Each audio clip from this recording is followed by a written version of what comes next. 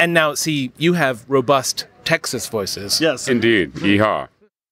Yeah. Right. Yes. Deal. Boing. Welcome to the Acquia podcast, Drupal technology, community, and business. Welcome to the Acquia Podcast, Drupal Technology, Community, and Business.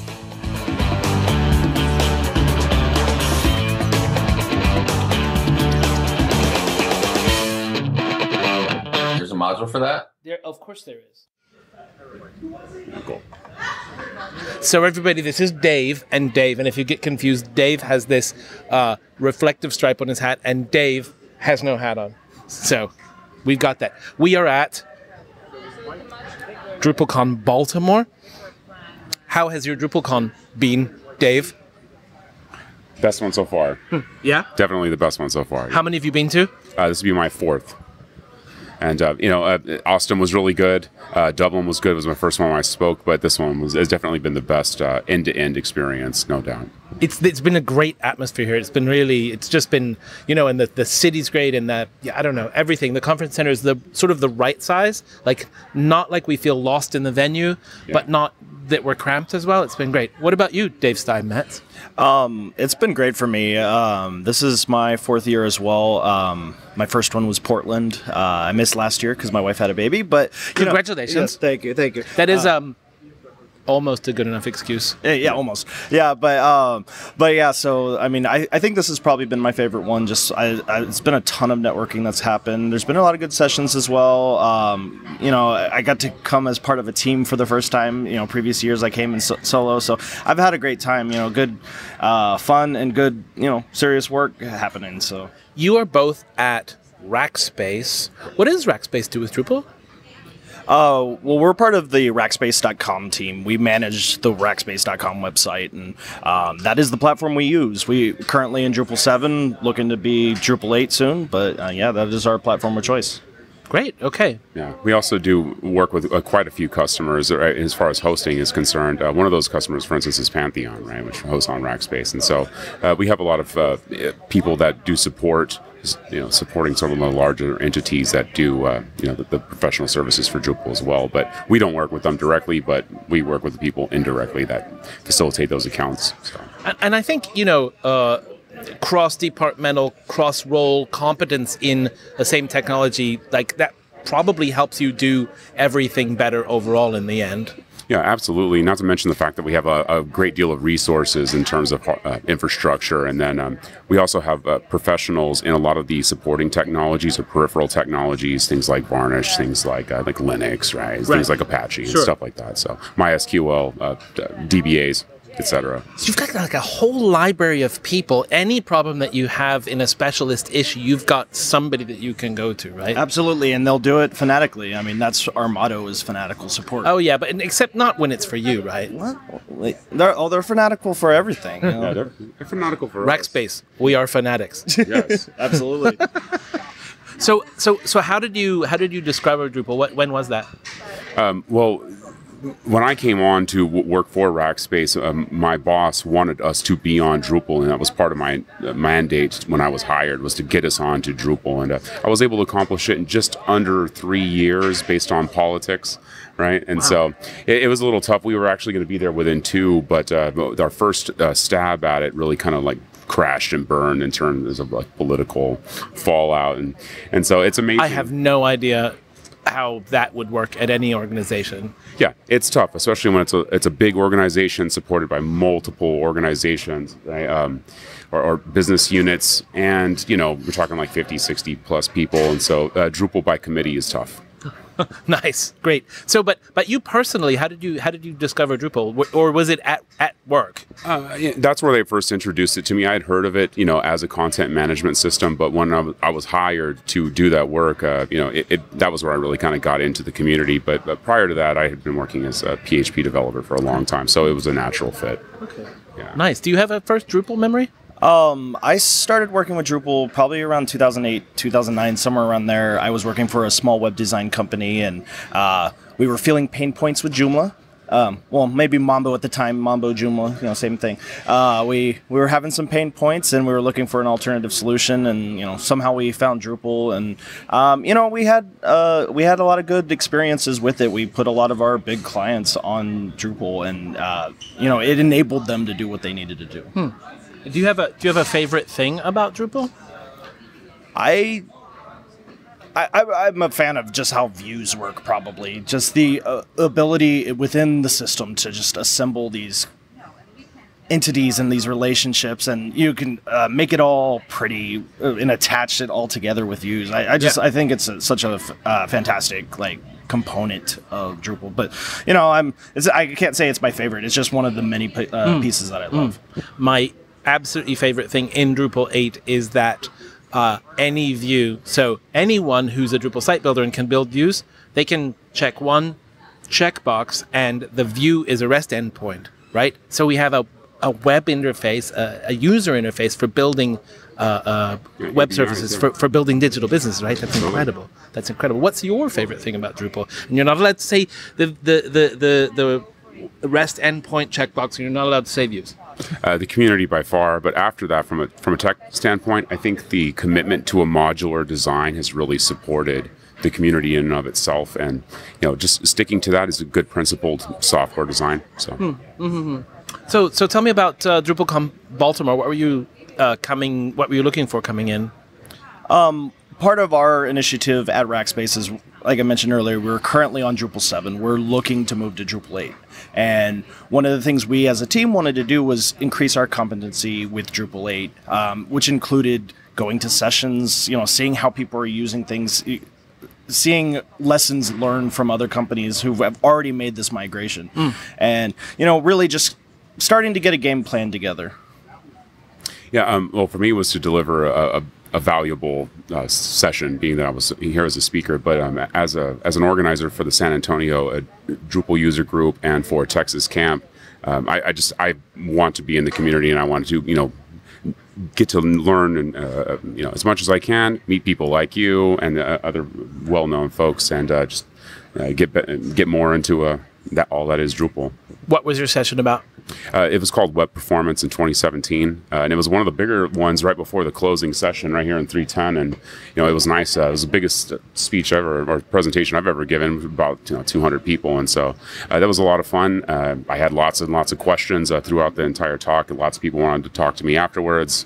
Lots of tweets, and so I, I consider it a good success. That sounds that sounds really successful. I like I like um I like when people are inspired enough to to engage with with you and like really like no wait a minute but nah. Yeah. plus i guess if you're talking about performance then you've got real insights from running really really big iron at rackspace right so Right. so of course that's really interesting to us to see you know a little behind the curtains there Yeah, totally. And then I, I wanted to use a little bit of a different format where I was uh, asking questions that were relative to certain topics throughout the, the talk itself. It ended up uh, forcing me to cut one part, part of my talk a little short, uh, but uh, I found that, that it was good to keep uh, the questions germane to the topic at the time, and, and people seemed to really enjoy it. So, so it was more interactive with the audience yeah, and by design.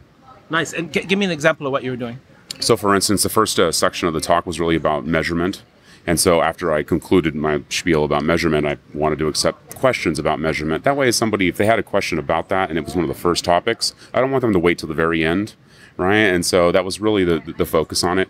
Um, but I would say, though, uh, it wasn't a part of the design of my talk, but one of the coolest interactions I had had was uh, from a, a, a gentleman. Um, a a handicapped gentleman, right, uh, who uh, needed an interpreter to actually, uh, you know, actually convey the question and convey the answer. And I had never been through that, and so, Oh, nice. So that was a very interesting experience that I that a lot of people got to observe, and uh, I, I thought that was a very unique uh, for the talk and for Drupal. And, uh, I think I think I know who you're talking about, and, and I haven't seen him around actually, but I've, I've spoken with him before. Yeah, If, yeah. if it's well, if it's what I'm thinking. very of. tall guy and uh, very cool, and um, and, and the interpreters were extremely gracious and helpful, and so uh, I, I thought that was a that was a neat little uh, a gold star to the talk. Yeah, I went to um, I went to my first WordPress uh, event recently. Um, I went to WordCamp in London, and it was so interesting. It was so interesting on on a, a bunch of levels um, because it's just they everything about what they do beyond the fact that it's PHP and and and and, G, and you know GPL and so on. Like everything else about the community and their interests is is just like a really from a through a different lens. Um, but the event itself was extremely well organized, and it's the first time that I've been at an event with live captioning. So they had screens next to the stage and people doing um, stenography shorthand and like doing live correction and stuff. And then I between sessions I ended up hanging out with the stenographers and like geeking out about how they do chords and shortcuts and and you know they prepare. It turns out they prepared ahead of time and like learn new technical words to be able to handle that situation. Right? It's really Yeah. fascinating. Yeah, they have. Um, yeah, in- fact, that was one of the big questions: was how was it that the interpreter picked up jQuery, right? Oh. Yeah, and, and that was that was one of the things that he had actually done in sign language, Uh-huh. right? And she got it, and she did not even miss a beat. And then yeah, and All so right. so it's it's pretty amazing how. Do you know what sign she was using? Was it like the letter J and then the question or? I, w- I wish I could tell you. I Oh, mean, okay. I, I was I was a little far away from the mic to do that, but um, If it- you're it- out there, I really want to know. so it, so that was that was really rewarding. Um, it was a good opportunity to represent to myself and and you know. Rackspace and, and Texas and you know Texas camp and all that, but um, uh, ultimately uh, it was just it was just good to be here and share my knowledge. So Great. I'll, I'll, I'll be really happy to link to that talk in the in the notes for this. great, that'd be great. Um, so the other thing that we were talking about that you, you got in touch with me um, ahead of the con, and um, so you guys are also a part of the organizing team for Texas Camp, Correct. right? Which is happening in June. So this is a, a, a June uh, 2017, and right now in real time we're just hitting the end of April, right? Correct. Yeah. So Texas Camp is coming up the beginning of June. And you guys are doing a little thing that you're calling Uh, just it's it's a Drupal 8 certification crash course, and uh, it's it's really meant to cover the, the dev certification, but uh, a good half of that is going to have to be devoted towards site building anyway. So I'm hoping that we'll get some people who are interested in site builder or dev um, or any of the other uh, grandmaster related. so how long? How long is that? How long is that crash course? Uh, it's going to be a six-hour, one-day course. Uh, the the uh, Texas camp itself is going to be three days. The first day is all trainings, very similar to the con, and then there's the two days of actual sessions. And so it's going to be a, a six-hour course or full-day course uh, that first Friday, and uh, we're just hoping to get as many people certified as possible. Okay, cool. Um, and I also found out that both of you are recently certified uh, in Drupal 8. Uh, well, with the Acquia certification, right? What's um, what's uh, what was your motivation for doing that? Um, for me, like my motivation was really uh, I've spent so much time in Drupal 7 and Drupal 8, you know, it's it's an idea. It wasn't really something I I had really had tangible, you know, hands-on experience with. And for me, like doing this certification was actually my introduction really to transitioning from D7 to D8. I just went, you know, head down into you know into the study guides into the, the, the manuals you know everything i could find started aggregating all these data taking notes. Hey how does the render api work? How does uh, how does theming changed you know learning twig you know all these new things that have changed i just w- went through and i started taking notes as i as i went along and uh, coincidentally all my notes have been placed up on github so they're available for anyone who's We should link to this as well. yeah i can get you that uh, url b- at the end of this Excellent. And pull requests are uh, are Yes. accepted. pull requests are accepted because there's plenty of grammar mistakes in there i'm sure So um, so so so that's great. So uh, Texas Camp is coming up, and you'd like people to come and do that crash course, and then you know enable them to be certified. What's the what's the what's the motivation for getting certified at this point? Um, I mean, I've been observing that certification market that's developed around this, but but what is what is for you? What's the motivation? Well, uh, for me originally, I, when I got the D7 certification, I was the only one in San Antonio, and until Monday, I was still the only one in San Antonio. So that was very uh, nice uh, credential to have for myself, and especially for Rackspace. Um, and then also being, you know, the, the the coordinator for the DUG, right? And so it made sense. But I, I think that it's it's important to know that uh, uh, Acquia did the right thing. I think going the, forcing the fact that there, there needed to be certification, there needed to be something to give people some kind of credential to validate that they know what they're doing and give them an opportunity. Because um, you know, Drupal gives you know all of us a job, right? And and for and for us to work in the, the technology and profession we like, to be who we are, to where we want, to go where we want to go. and be a part of like this community. And so that certification only solidifies that even more. So, so you'd say it, it gives developers an opportunity to further their careers, uh, maybe better prospects. Absolutely, absolutely. I mean, if you go to a you know any of the big agencies and you've got that credential, I mean, it's gonna it's gonna separate you from the rest of the people. I mean, if you, I mean, unless you know, of course, you know, you're one of the like the big names or something like that, right? But but other than that, I mean, there's a lot of it's a path for a lot of the people that are coming into Drupal. Drupal is growing. It's being more appealing to more developers, especially uh, more PHP developers not familiar with it, and so giving them a path, uh, you know, a, a way into the community that really uh, verifies their knowledge and competence, I think is invaluable. Okay, this is great. I mean, I like that that that this is seems to be coming together and that it can help developers at an individual level.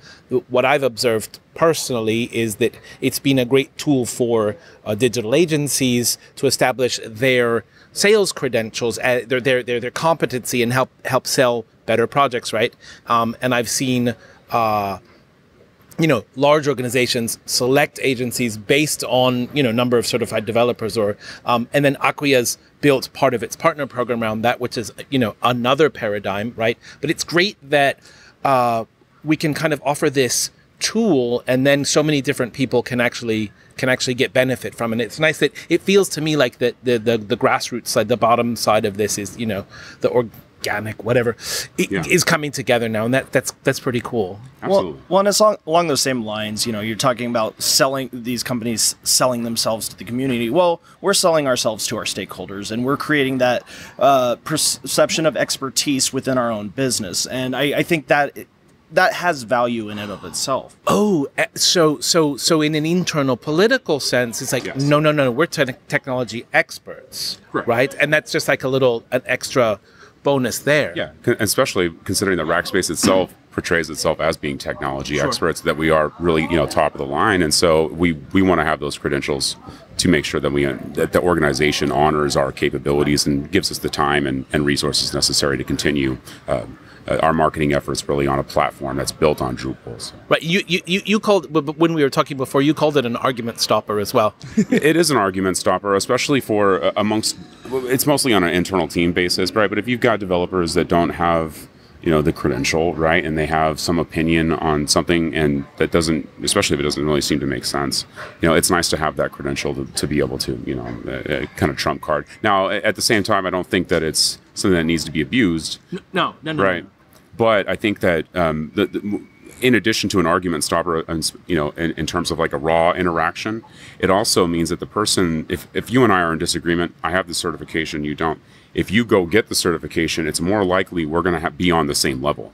And so there's, it's going to stop, it's going to preemptively Right. stop an argument. There are still going to be questions of style and approach and Right, everything else, but yes. but sure, I get it. Um, and I just wanted to clarify before I didn't say um, sort of th- this helps us sell ourselves as developers to the community. I, it's the one area where you know within Drupal we have our own ways of knowing and measuring people's Absolutely, yeah, yeah. activity and effectiveness, Right. but um, it's it's perhaps a, a handy shortcut for you know external facing Yeah, uh, uh, uh, uh, credibility, right? Absolutely, yes. Yeah. So Texas Camp coming up, and um, I have the really good news that we got approved to hand out ten percent discounts on the cost of the certification to anybody who takes this crash course at this camp, um, and I think that's great. And I'm really, I was glad I was able to hook you guys up with that. That's cool. Absolutely. I think at this point, um, just looking forward, uh, presuming that this goes well, and we see a lot of interest in this, um, I'd be really interested in in working together to enable other events to have their crash course. So so we got some notes online, um, and if anybody wants to contact me about the discounts, I'll see if I can get more. I I feel I feel positive about it. I can't promise, but I think it's a, a likely. A, a, good possibility. So, um, so, and to get in touch with Dave or with Dave, we can uh, we can put their Twitter handles in the article. We can put some contact details. Um, my stuff's pretty well known. I'll put it there as well. So, so we could set up, uh, you know, really open source this thing and and help the community do this uh, do this other little thing. Absolutely. Great. It's been great to see you guys. It's been great to meet you and talk with you. Yes. Thank you, Jeremy. Yes, Thank you. We hey. appreciate the time. Oh no, I no. Thank you for stopping by, and um, and now go rate patches. Yes, yeah, yeah. With, with what little time we've got left, it's, it's in review. It's in review. Yeah. Cool. Hey, thanks so much. It was great. Th thank you. Yeah, cool. yeah. We appreciate it. Okay, we'll be. In-